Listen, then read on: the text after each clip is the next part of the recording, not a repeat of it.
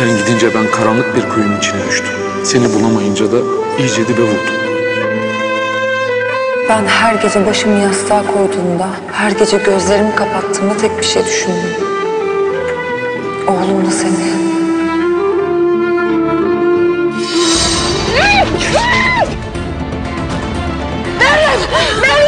Ne? Konuşabiliyor mu? Bundan sonra ben senin adamınım. Yeter ki kahramanı al aşağı edelim. Hep böyle akıllı ol ki kimsenin canı yanmasın.